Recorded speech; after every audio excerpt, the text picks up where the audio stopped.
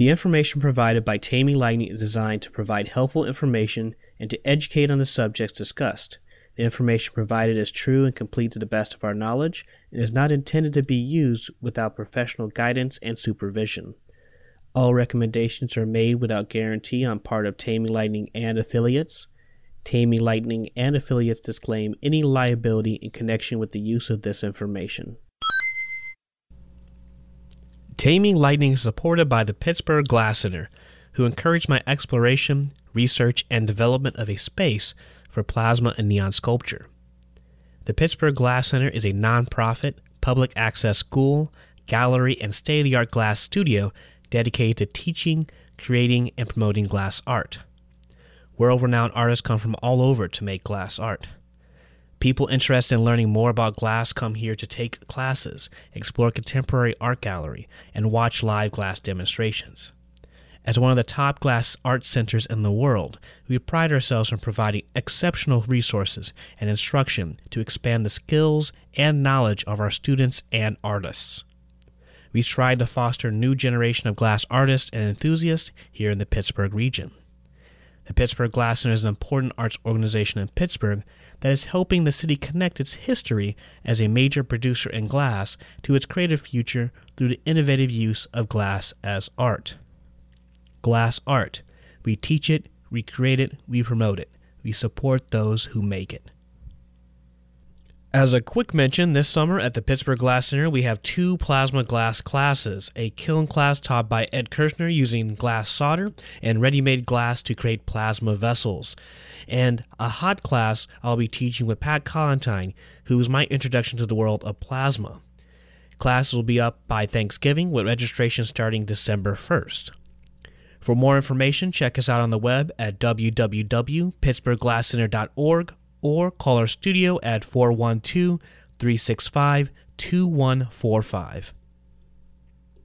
I'd like to mention a support option for Taming Lightning, which is Ko-fi. That's ko-fi.com slash taming lightning. With this, you're basically donating or giving a tip at the cost of a $3 cup of coffee based on how you think I'm doing, and if you like the project, it's nice and supported.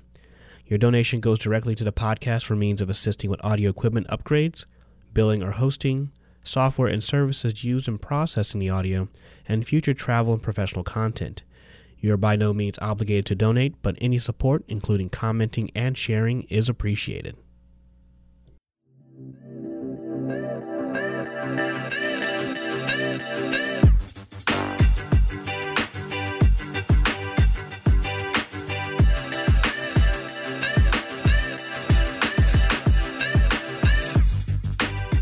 Welcome back or welcome to the Taming Lightning Podcast. I'm Percy Eccles II. I'm the creator and host of Taming Lightning, as well as the emerging plasma tech at Pittsburgh Glass Center. Taming Lightning Podcast features a series of conversations to help expand our understanding of plasma and neon light, looking beyond its associations with novelty and sign making, and to explore the potential for noble gases as an artistic medium. The intro is Boost by Joakim Karud. Joakim is a Swedish artist who loves to produce chill and happy music and does so for copyright free use.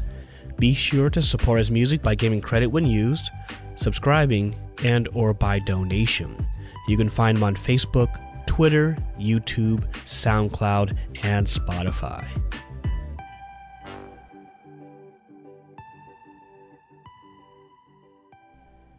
Hello, Lightning Tamers. This is episode number 19. In today's podcast, we have Tommy Gustafsschiöld of Nordic Neon and Diod. He's one of the last neon shops in all of Scandinavia. We hear about his beginnings and early life prior to neon, as well as his recent explorations in making art, whether it be collaboration or his own. What I find interesting is how he processes or bombards his neon tubes, using a kiln or oven rather than a high power transformer in addition to coating his own tubes. By the time this podcast is released, I will travel to Sweden as part of the Advancing Black Arts in Pittsburgh grant, where I had the opportunity to visit and travel with Tommy to the glass factory Boda. Here I assisted and taught a hot shop class for plasma with Ed Kirshner and Jaime Guerrero, where we took what we learned from the class in Pittsburgh and essentially making a blow and glow 2.0. I also participated in the conversation for setting up neon and plasma for the Glass Art Society conference in May 2020, where I will be one of the presenters. Before we get to the episode, I'd like to make a quick mention for the Advancing Black Arts grant, as it would not have been possible for me to travel without the support of this grant and that of the Pittsburgh Glass Center for hosting my residency. The city of Pittsburgh is known for its rich contributions to the canon of black cultural creativity.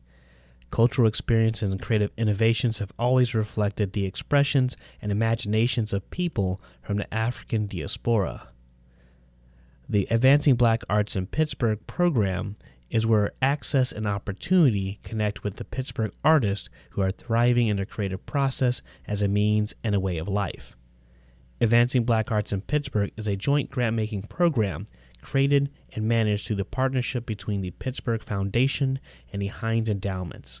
The program is committed to helping create a vibrant cultural life in Pittsburgh and the region.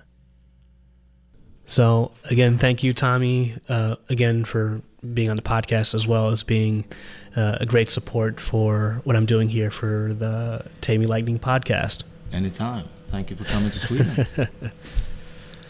um, so, the first thing I usually ask my guests is, um, how did you get into neon?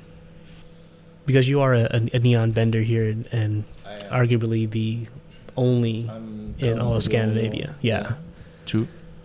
Uh, and I first came into this business in the mid 90s, uh, 94 actually.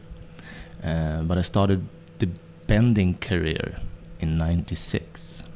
So for the first two years, I uh, did all the work that the uh, real benders at the time didn't have time to do or simply just didn't want to do. So I was kind of like this little. I don't have an English name for it, but uh, in Swedish it's tomte. Uh, you know that little little guy with the gray hat running around. I don't not familiar with that character, but forget it. Anyhow, I did the I did the mo most of the welding of the tubes and uh, uh, the tip off, mm -hmm. and that's um, uh, another way of, of uh, tip off in our shop because we do it twice. Right, you do so with that tip you, off. You see in the oven. Yeah, yeah. it's not it's not ideal to tip off correctly direct in the mm -hmm. oven because of the uh, position of the, the tubes. Right. So uh, you first tip it off uh, from the tubulation that uh, is connected to the manifold, and you try to save as much as you can of the tubulation, uh, and then you tip off the rest that's stuck to the tube, so to speak. Yeah, and there's some shops that don't have that kind of constraint, but they also do that to get the best positioning for getting the the, the final tube tip off, I should yeah. say. Yeah. Um, but you mentioned something just really quickly, or, or that you do oven pumping, which is yeah. very different from um, what most of the world is known, actually knows about neon. Yeah. You know, if anyone knows any idea about neon, it's these uh, using a bombarder yeah. or a high voltage transformer for that. Um, True. Uh, why why is it that you do the oven? Uh, several reasons. Um, I think that from the beginning, uh, it's a matter of quality. Uh,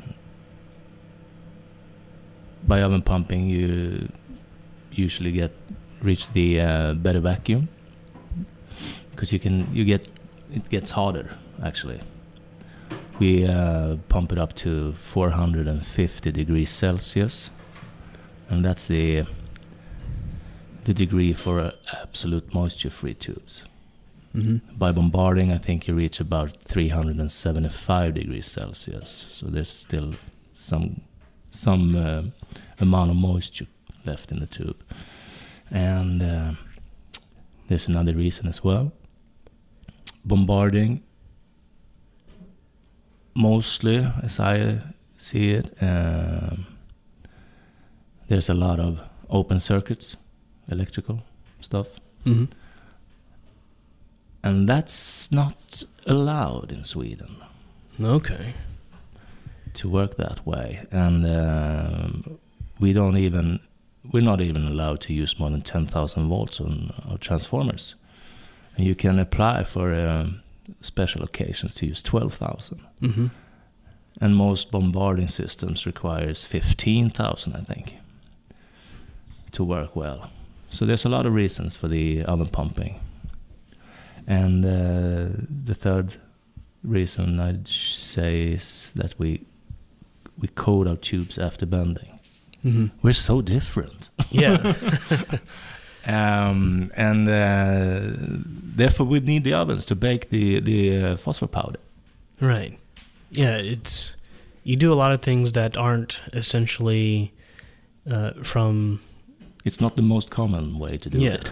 you, you have your setup of phosphorus solutions, so Yeah. you have a lot of you have a variety without having to have a lot of different tubes. yes. And then you know, from talking to you in the last few days, you also have done things where you have custom color orders. Yeah, we can get- custom make colors actually. Uh, that's pretty unusual, but we have done it, Mhm. and we have done it for the um, uh, this the um, the casinos in Sweden. Mhm. They wanted a special gold yellow, uh, so we had a we worked on that for about four or five weeks, I think.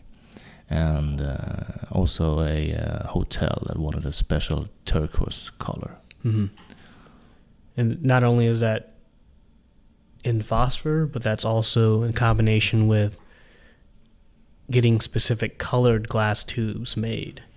Uh, in the casino case, yes, because Okay. that requires the the novel gold uh, Mhm. glass, That's just crazy. I can't It is. imagine. I mean, and it's fun. Neon, as I understand and know, it just not as it's not as in demand to even have that nature of customization anywhere, and the having the availability to do that is kind of still blows my mind, really. Yeah, well, to me it's natural. uh, yeah, well, it's fun, but as I said, it's not so common. But when we when we have the time for it, not so much anymore, because now we're busy, uh, being the only shop in the country. But when we were when we had competitors in the country, we had more time for fooling around. Mm-hmm. So we we played a lot with the um, phosphorus, trying to make different colors and shades. I I got to meet. Uh, I got to meet everyone in your crew when I came in, right? Pretty much everyone, yes. Yeah, that was that was awesome. So you have your, your wife works with you, right? Yeah, since um, almost two years. Uh, she's she's the one who's coating all the tubes actually, Mm-hmm. uh, and she also put the electrodes on. Yeah, I got to see the coding action. It's yeah, it it, it take it's like um if you think of it, it's like the maze game or maze tube that you can that kids play with. They're kind of rolling the ball through there, except Yeah. you're rolling all the solution there, and you have to do it evenly, quickly, and you drain out the excess, and then you also have to put it down correctly too. yes, you do. You have to put it down with the uh, backside first, so to speak. The the uh, part that won't that's not visible on um, on a sign. Mhm. because that's where you have the excess of the solution. It, what what was it that brought her into, you know, joining in on the business for that? She used to work in the uh, healthcare, uh, and that's a rough business, I think, in every country. Uh, you work nights, weekends, kind of low paid, often, and uh, she's been doing that for 17 years. Uh, before that, she was in the restaurant business uh, as a waitress. Um, and before she came, I did the uh, electrode job. hmm and uh, uh, you didn't get to met, meet Miko, uh, my pumping guy and my No. welding guy. No, he he also knows how to coat, so he he did the coating before she came in the picture. But I I didn't have the time to do both bend, bending, uh, putting on the electrodes and uh, the um, the work at the office, the paperwork. Yeah. So um, we basically came to the conclusion that we, we need some more, we need two more hands. And uh, so I just, one evening, I just, uh, out of the blue, I asked her, Do you want to work with me? And she just laughed at me first. Well, okay, what will I, what am I gonna do? Uh, so I explained to her what she's supposed to do, and um, she gave me, she told me that uh, give me the night to think about it. And I said, you you have all the time in the world. There's no problem. Um, took two days, uh, and she came back and said, okay, I'm willing to try it. hmm And I said that's a good decision because um, working working in healthcare with in the elderly that she's been doing so for so long, it's it's not it's not a hard thing to go back to. hmm It's not hard to find a job in that business again. So I mean, if you- if you didn't like to do what you do now, just go back then. Right. Yeah. And she loved it. She discovered that it's nice to be off and free from work pretty much every weekend hmm every holiday, no nights. So she's still there, Yeah. and yeah. I think she still likes it. the Yeah. the the mo- the biggest issue actually was the the fact that we we would be close 24 hours a day, pretty much. hmm Uh, and m- my worry was that she would be thinking that I would be going on her nerves. but it works fine. It's uh, we have fun and it's turned out well. Yeah. And then um, you have you have a, a set of uh, installers too. Yeah, we have uh, three teams uh, with two guys in each team. Now, do they also do restoration work on signs, or is, they, or is that sent to someone else? No, no, no. We do all the the uh, everything. Hmm. But the LED is that you? I'm not You don't mess LED. I'm not Just messing with LED. you. I'm not LED. the company does LED, yes. Mhm, yeah. but um, I run the, the neon. Okay. I'm not involved in the plastic stuff, Yeah, that's right. and I won't be. Um, now, what I didn't catch um, was did you just kind of fall into neon, or no, I actually I was in between two jobs. Uh, uh, I, I'm I'm a carpenter from the beginning, uh, doing construction works, uh, and at that time, 1994, that business crashed in Sweden. Mhm. So, uh, uh, so I had to go, and um, I basically took the uh, opportunity to walk around in the in, this uh, area there where the company was located, uh, knocked on doors at every company, offering my service for whatever they wanted me to do. Mhm. Uh, and and um, this guy, he's from Finland. Uh, he's dead now, passed away a couple of years ago. Who ran the shop? He uh, he told me that uh, no, we don't have any use for you. We don't have any place. We can't do anything for you. Uh, we just got a, a new apprentice a couple of months ago. And I said, fine, okay, thank you. Uh, and I left my phone number. And this was on a Friday, Monday morning, five o'clock. He called me and he said, Can you work? and I said, Yeah, sure. Uh, and I've been in the company since. nice. Yeah, it's I started, um, as I said, I started welding and tipping off and doing other s- small stuff. Uh, and uh, I, um, on my uh, breaks, I tried the, the bending the best I could. And um I had a, I had the opportunity to watch the benders, Yeah. what they did, um, pretty much as much as I wanted, as long as I did what I was supposed to do, and had that thing made. uh, Yeah. I, I could disturb the benders as much as I wanted, and, and I did. Trust me, I did. Uh, I had a lot of questions, and I I picked up some tricks and um, I practiced. Yeah. And one day the uh, the uh, owner told me that uh, if you are interested in this, seriously interested, I will learn you. I will teach you. And I I said yes, please, thank you, teach me. And he did. And then it's been how long in that practice? Like how long have you been doing neon? I've been doing neon for. Uh, if you take off those first two years, it's 23 years now. Nice. Yeah. Yeah. It is. and I, I actually, I went under his wings and practiced. He let me go after seven years. Then that's what it took for me to, in his eyes, be a uh, fully good bender. I say five. Thing is, we, we work with every diameter up to 22 as, big. as regular. From That's big. 6, it's 6, 8, 10, 12, 15, 18, and 20 and 22. And he had the um, he had this idea that every, regardless what, what diameter you are working with, it's supposed to look the same all the way through all the diameters. So it Mm. was kind of long time to learn the bending. Oh yeah. And then also, what are some things that um,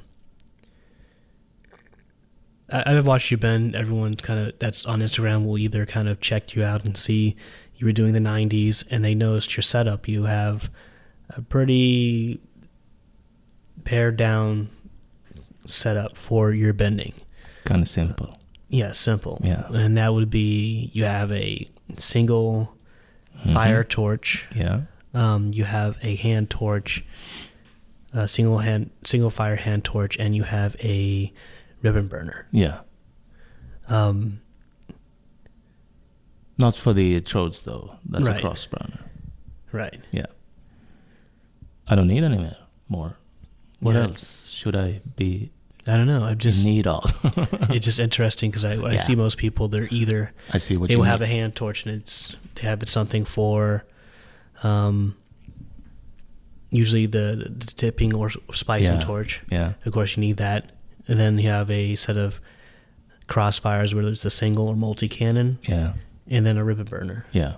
So similarly, a small set of tools, but it's interesting that your style involves using a single fire Yeah. torch. I do pretty much everything in a single fire. Uh, if I'm gonna do, if I'm gonna do a curve that's longer than about seven, eight centimeters. Are you following me? Yeah. now? Yeah. That's about the width of your hand, Yeah. not including your Uh, thumb. then I use the um the uh, ribbon burner. hmm Uh, otherwise, it's just a single torch, and I do the the welding and the tip off with the single torch hand fire. hmm Yeah. oh man, that's pretty cool. So it's a little bit different technique from from most of the others. And you do a lot more than signs and Yeah. repairs too. Yeah, we do, uh, and that's kind of new. We we've been working uh, more artistically uh, since 2014. Uh, up till then, it was mostly commercial work, uh, and um, you get kind of tired of that. Even if it's not the same bend every time, it feels like it's same bend, bending every time. Yeah. Doesn't matter if it's a what letter it is or what what kind of figure it is or something like that. Um, you need something to to make you grow as an uh, bender or artist, if you want to call it that. I didn't call myself artist before, actually. No? No, I was just a neon bender. Because I, I did something that someone else had came up with. Not my idea. I wasn't the artist. I guess that makes sense. Uh, for me, it did that at that time, at least. Uh, I think it was in 2015, maybe, when I got in contact with uh, the rest of the world, so to speak, in the neon business uh, by internet and Facebook and stuff like that. Uh, I got called artist by others, uh, and then um, I started working with artists who also referred to me as artist, Mm-hmm. and I started doing own work, not just letters. And I think that's how I became an artist. So now I'm probably a neon artist as well Yeah. as a neon bender.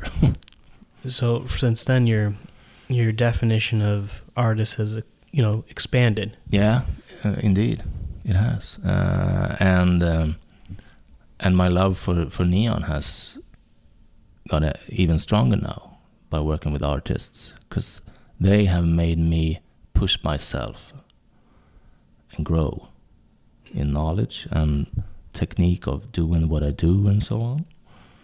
So it's Mhm. great. It's like I'm reborn after 20 years in the business. It's really fun. Yeah, and, you do sometimes try to sneak in your own work, right? Yeah, I do.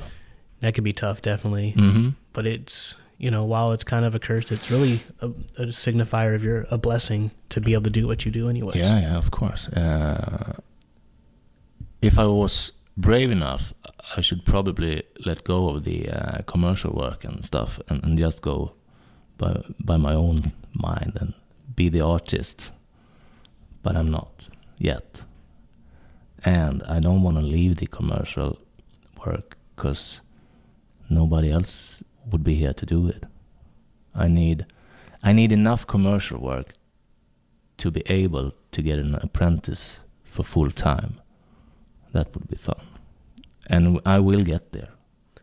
Do just a matter of time. do you feel that it's close to that right now?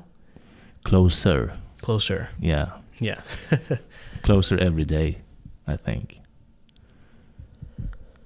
You know about my plans to expand the shop and all that. Oh yeah, I saw that you're gonna move some stuff around and and then expand it as well, and which is really uh, cool. the fact that we are sitting here in Boda, Sweden right now, that's a great start. Because we got Ben, Mm-hmm. who's coming to to work with me uh, and learn the Euro, European way of bending.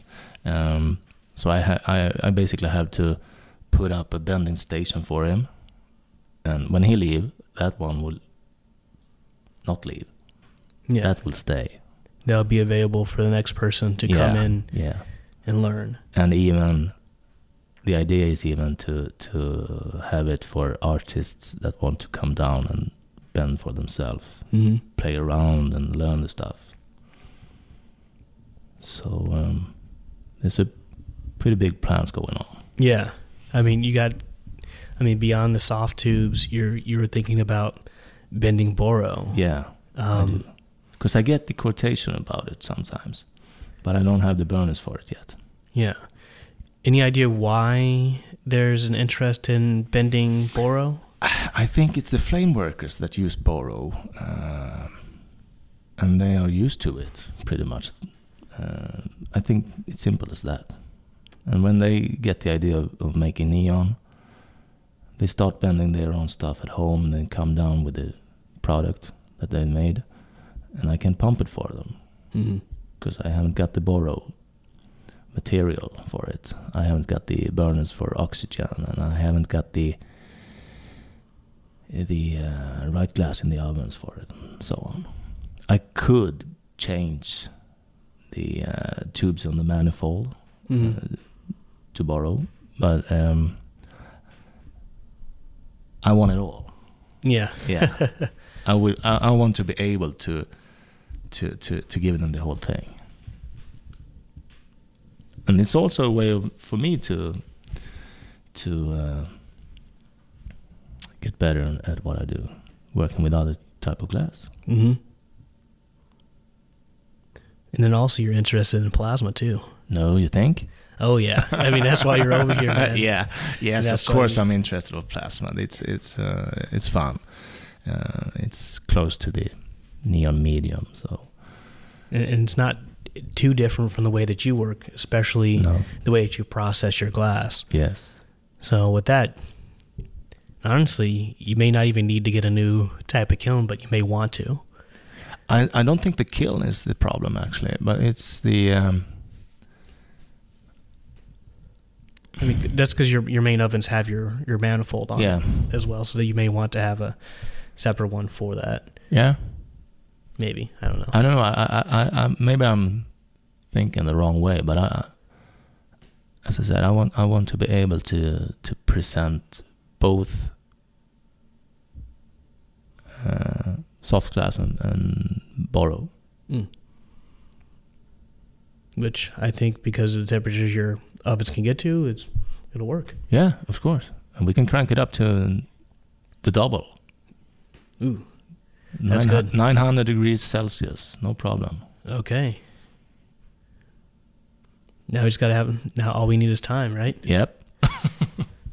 Uh, you worked. Have you worked with any people that were interested in plasma? I thought. Um, I can't say his name correctly. Carl. Carl Syrian. Surin. Yeah, yeah, I have. Uh, he's he's not a glass blower.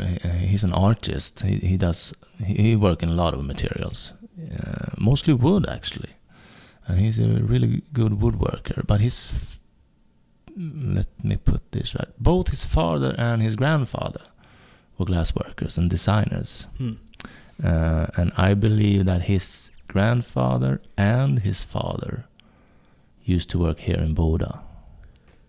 I actually think we have past pictures of them in the corridor at the hot shop. um, so he uh, naturally he he's been working with the glass as well, and he um, he made uh, some plasma vessels one or two years ago, one year ago I think, um, that I pumped for him. Uh, so that that was fun. He uh, does it. Is it called knitting? I guess knitting or weaving Yeah, uh, carbon threads. carbon threads. Yeah, Yeah. using carbon threads. He's making these fascinating. bags or nets or whatever you want Or to call it, uh, and and simply blew glass through that. You get kind of weird forms. yeah, it's totally awesome. Yeah, I think it's uh, great stuff. Uh, and we put electrodes on it and pumped it. And he, he's the one who bought every transformer for uh, for plasma that I had. so I have to get new ones. And uh, I haven't. Uh, yeah, we, I don't remember her name, but we did some other plasma, and that was actually in boro. Um, she made these strange flowers. Um, for me, it looked more like trees uh, out of boro. Uh, that was supposed to be some sort of installation at a um, cruising ship down in around Hawaii or something like that. Uh, sad, I don't remember her name. Uh, she was actually the first one with the plasma thing hmm uh, to, to, to come to us for help. And then I've been around here in uh, Boda watching other artists with doing plasma. Like uh, Pat. Yeah, Pat Collentine was my first uh, encounter here in Boda with plasma. Uh, and you learn you learn some from him. yeah, I did. That will make us plasma brothers. Oh, right. Yeah, yeah. Brother from another mother, not mother, but father, maybe. It's father, right? yeah. Uh, yeah, well, he's a Uh-huh. fun guy. And uh, now it's Ed Kirshner. hmm It's fun watching the uh, the old guys with all all the knowledge. Yeah. Yeah, we're gonna do some. We're gonna light up a few pieces tomorrow, so take notes. Yeah, I will. And uh, anything you want to close out with? Stay in the fires. Thank you. Thank you. The outro is Zone Out by Joakim Karud. You can find him on Facebook, Twitter, YouTube, SoundCloud, and Spotify. Thank you for listening to the Taming Lightning podcast. I'd like to thank Tommy Gustafsschiöld for taking the time out of his busy schedule to record for the podcast, his generous support, and offer to drive me down to the glass factory, and for lending a hand in helping Plasma and Neon grow. Also, I'd like to thank the Pittsburgh Glass Center for supporting me as a place of research and inspiration, as well as encouraging me to pursue this project and help bring in these artists and instructors to help build and spread their knowledge. And the Plasma Art Alliance, where I have access to a well of knowledge and connects me to some amazing and supportive people. If you'd like to support Taming Lightning, subscribe on the newsletter on www.taminglightning.net or follow on Instagram at Taming Lightning. Other options for support are donations through Ko-fi, spelled K-O-fi.com slash taming lightning, where you can donate for the price of a $3 cup of coffee. Links will be provided in the show notes. Feel free to share, comment, and subscribe, and I'll see you next time.